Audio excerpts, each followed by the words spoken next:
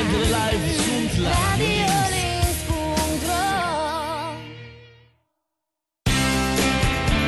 Da, am revenit aici în studioul Radio Links. Alături de mine este și Sandra Stoian, coordonatori voluntari la Asociația Manier. Bună, Sandra, și bine ai revenit în studioul Radio Links. Bună, bine te-am regăsit. Da, astăzi de ziua tineretului. Apropo, la mulți ani, Sandra. La mulți, la mulți ani. ani și ție. Mulțumesc, mulțumesc.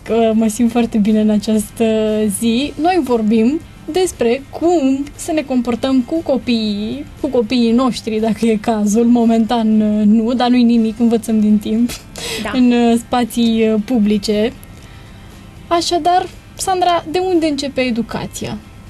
Educația începe de acasă. Aș putea să includ și școala, dar uh, vorbim și despre copii mai mici, până în 6-7 ani Vorbim, desigur, din perspectiva oamenilor care deocamdată nu au copii, dar văd lucrurile din afară și observă anumite lucruri care ar trebui să fie luate în considerare sau să zicem că este bine să fie luate în considerare. Asta cred că ar fi regula de bază, că educația se face acasă și nu pe stradă. Sunt foarte mulți oameni care uh, au tendința de a țipa la copiilor, de a le face observații foarte agresive în mijlocul străzii și nu dă bine și îi deranjează și pe oamenii din, din exterior și nu știi niciodată ce reacții primești de la alți părinți, să zicem, nu de la mine sau de la tine care nu avem experiența necesară, dar s-ar putea să intervină alți oameni. Și nu, nu este o situație deloc plăcută. Plus că copilul, dacă a greșit, oricum o să-i faci observații acasă, poți să-i explici. Sunt mai multe cazuri prin care poți rezolva problema, dar consider că în mijlocul străzii, în momentul respectiv, nu este ideal să ne apucăm să țipăm la copiii noștri. Ai un exemplu în minte, pentru că puțin mai, devre- mai devreme vorbeam noi Uh, despre faptul că sunt acele situații în care o persoană îi oferă ceva copilului și părintele intervine și spune Ei, cum spui? Cum spui? Asta intră în categoria așa da sau așa nu? Este ok să faci așa, sigur, intră în educația copilului.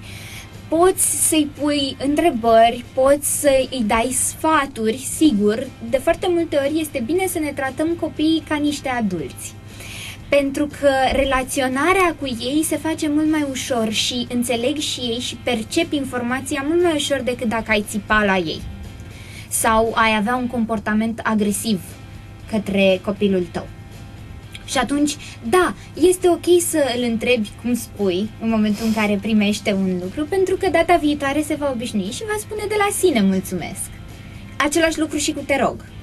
Copiii sunt uh, un burete și absorb informația extraordinar de repede, mult mai repede decât adulții și se obișnuiesc cu ideea. Dacă le tot spui și le implementezi, a doua, a treia oară deja vine de la ei. E mai important uh, să-i spun cum să se comporte sau să-i arăt cum să se comporte prin exemplul personal? Sigur că exemplul personal este foarte puternic și dacă se poate, da, este recomandat.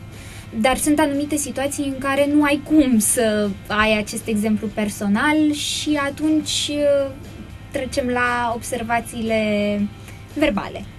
Dar, iarăși, pe un ton calm, liniștit și uh, se rezolvă. Se rezolvă mult mai repede și mult mai ușor. A, bun, cred că m-am lămurit la acest uh, capitol. Uh, mă gândeam la o situație în care tot așa suntem într-un uh, loc public, copilul e împreună cu alți copii sau cu alt copil și vedem așa cum încep să se certe puțin, începe să se contureze așa un conflict. E bine să intervii, să rezolvi problema sau mai degrabă să vezi cum ar rezolva ei problema? Atunci când sunt foarte mici, este bine să intervii, pentru că ei nu au noțiunea gestionării conflictului. Nu înțeleg ce înseamnă și sunt, sunt destul de individualiști, mai ales dacă sunt singuri la părinți. Uh, și în situații respective e bine să, să intervină un adult și să clarifice conflictul. Dacă sunt mai măricei să zicem 8-10 ani, deja încep să înțeleagă și ei cam cum este cu ideea de social, ce înseamnă să împarți, uh, ce înseamnă să fim sau să nu fim egali unii cu ceilalți, pentru că, din păcate, încă există și acest concept. Uh, și cum să se comporte în diferite situații de conflict. Și atunci este bine ca din acel moment să-i lași și să experimenteze ei gestionarea conflictului și să vezi unde poate duce. Dacă conflictul degenerează și se transformă în ceva mult mai mare, care îi depășește pe copii, atunci da, poți interveni, dar poți interveni într-un sens pozitiv, adică prin a pune întrebări care să să clarifice problema și să-i aducă pe amândoi sau pe toți copiii implicați în conflict la un punct comun. De genul, de ce ai făcut asta, dacă ți s-ar fi făcut ție, ți-ar fi convenit, ce ar trebui să facem de acum înainte, credeți că puteți să ajungeți la un punct comun și așa mai departe. Nu este bine să luăm apărarea unui copil în, favoarea, în defavoarea celuilalt. Chiar dacă este copilul nostru. Pentru că, inevitabil, le vom face rău amândurora. În primul rând, celui pe care îl certăm care se va simți discriminat și în al doilea rând copilului nostru care va avea un, un uh, sentiment de siguranță constant că vai, mereu o să vină mama și o să mă apere. Și atunci eu pot să fac ce vreau eu că știu că am părinții în spate. Și așa pot să fiu nepoliticos uh, exact. și asigurat. Exact. E, e o problemă și aici. Deci e bine să-i lași pe ei de pe la 10 ani, să zicem, e bine să-i lași pe ei să se descurce. Și așa vezi și tu cum, cum reacționează copilul tău. Și ce ar trebui să mai schimbi în educația lui. Ca să o ia pe o cale mai bună. Și data viitoare să încerce o altă modalitate de a rezolva conflictul sau de a, a levita până la urmă, că și asta este foarte important. Atunci când uh, avem musafiri, e bine să lăsăm copiii în voia lor, e bine să-i ținem în frâu. E bine să-i ținem în frâu. Știu că sunt copii și sunt plini de energie și toată lumea înțelege lucrul ăsta, dar până la urmă sunt oameni care nu agrează atât de mult copiii. Sunt oameni care au probleme personale, femei care, să zicem, că nu pot să facă copii și atunci suferă foarte tare. Și um, nu, nu e bine să-i lași să, să se bage în viața adulților, ca să zic așa. Un copil care ți aleargă în jurul mesei în mod constant te obosește foarte tare și nu știi niciodată ce reacții au ceilalți oameni este bine să existe o limită, este bine să-l înveți ce înseamnă să stea la masă cu adulții, uh, ce înseamnă, când trebuie să se bage, să spună povestioarele lui, să uh, ceară voie să se ducă să se joace și așa mai departe. E, știu că sunt foarte multe țări în care copiii sunt lăsați să facă absolut orice și este uh, libertatea copilului este mai presus de orice și uh, dacă așa vrea copilul, așa va face, că așa este normal. Nu sunt într totul de aceeași părere. Sigur, libertatea copilului este importantă, dar trebuie totuși să aibă câteva limite, câteva zone în care să, să se joace. Câteva reguli ca exact. să nu fie exact. haos. Exact trebuie să ne sacrificăm în acest uh, sens. Uh, mă mai gândeam uh, acum uh, la o situație, uh, povesteam și ceva mai devreme despre ea, situația aceea în care un copil vede în metrou un om care mănâncă eventual cu poftă altceva. Ei, și e poftă în momentul ăla. Ce faci ca părinte? Lași să se ducă la om, să-i ceară? Mm, nu. Eu nu aș fi de acord cu așa ceva. Iarăși, pentru că nu știm cum va reacționa omul respectiv și nu este frumos să te duci cu copilul de mână și să-l lași pe copil să își bage mâna în punga omului sau chiar și să-i ceară. De obicei, oamenii, uh, când văd copii, tind să le dea ei. Dacă au o ciocolată, o portocală, mai știu eu ce. Dacă vor, într-adevăr, o să vină să le dea copilului. Um, în cazul în care mănâncă numai el și se vede clar că nu are nicio uh, dorință de a împărtăși ceea ce mănâncă, de a împărți cu, cu copilul, aia e. Copilul va spune, tu procesezi informația, dacă vrei să iei mai târziu și lui pufuleți sau ciocolată sau ce mai fi, îi iei tu, îi cumperi tu. Și îi dai când consideri tu că trebuie. Dacă nu, nu. Dar uh, cel mai bine ar fi să, să existe o comunicare foarte clară între copil și părinte. În momentul în care copilul vrea ceva să se exprime și părintele să acționeze în cauză. Ori să ia, dacă părintele consideră că este nevoie sau că copilul are voie, ori să nu ia și în momentul ăla să explice și de ce nu ia. Așa ar fi cel mai corect pentru toată lumea.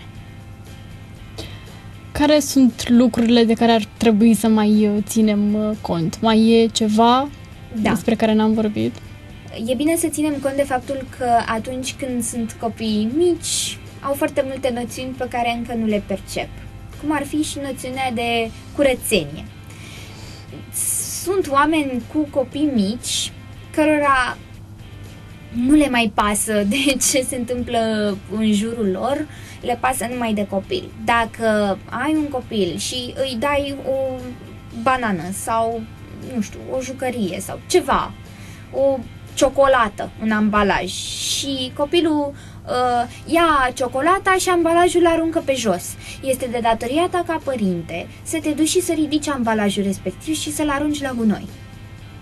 Că îi explici copilului că e bine să-l arunce la gunoi, da, iarăși este un lucru foarte bun, dar poate că în momentul respectiv copilul n-a făcut-o. Nu trebuie să ignori lucrul ăsta iei ambalajul, arunci, la fel și cu uh, banana, cu cojile de banană, de portocală, la fel și cu jucăriile, strângem după noi. Și este bine, apropo de exemplu de urmat, dacă te vede copilul că de fiecare dată vei strânge și vei face curat, automat va începe și el să strângă și să facă curat. Da, uh, corect. Și de aici începe și ideea de modelarea generațiilor și de asta este bine să începem de la copii cât mai mici, ca să-i obișnuim cu ce înseamnă să fii un om corect, un om organizat, un om frumos. Da. De asta foarte multe proiecte de ale noastre sunt pe copii mici, pe grădinițe, pe clase 1-4, pe after school, pentru că de atunci încep să se modeleze și se modelează mult mai ușor decât adolescenții care deja trec prin cu totul și cu totul alte probleme, întrebări existențiale și așa mai departe. Dacă le spui de când sunt mici și le arăți ce este bine și ce nu este bine să facă, vor prelua și ei. Și atunci nu va mai fi uh, problema cu vai generația din ziua de azi. Da, mi-a plăcut și mai uh, emoționat așa, ai vorbit cu suflet uh, despre lucrurile frumoase. Trecem la o scurtă recapitulare. Trecem.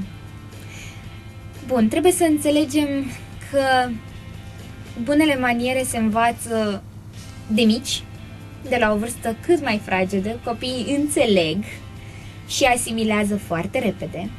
Educația se face cel mai mult acasă și nu pe stradă, deși observații calme și uh, controlate sunt acceptate chiar și pe stradă, atâta timp cât vorbești cu copilul tău normal, este ok absolut orice.